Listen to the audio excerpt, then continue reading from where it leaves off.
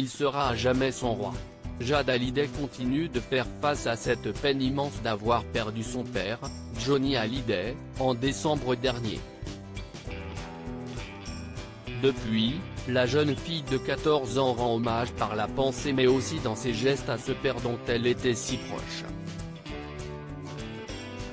Il y a quelques jours, elle lui a notamment adressé une déclaration d'amour sur son compte Instagram.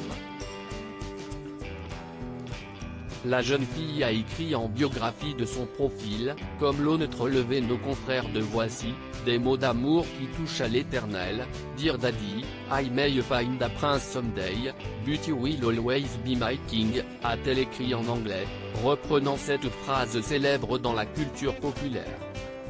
Traduisez, cher papa, je trouverai peut-être un jour un prince, mais tu resteras toujours mon roi. Des mots forts que Jade accompagne de gestes dans son quotidien. En vacances à Saint-Barth aux côtés de sa mère et de sa petite sœur, Joy, elle se rend régulièrement sur la tombe du chanteur pour y allumer des bougies, des lumières, y déposer des fleurs ou y chanter des chansons qu'il aimait. Elles ont créé ce rituel à trois, et sont parfois accompagnées d'amis de la famille. Les trois femmes y écoutent de la musique. Les chansons sont celles que Laetitia a choisies.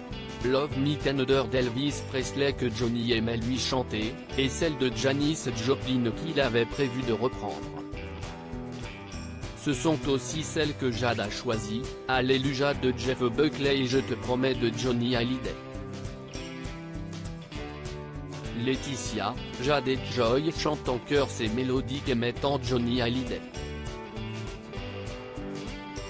Dans cette atmosphère reviennent tous les beaux souvenirs qu'il avait construits au fil des années et tout ce qu'elle aurait aimé encore créer à ses côtés.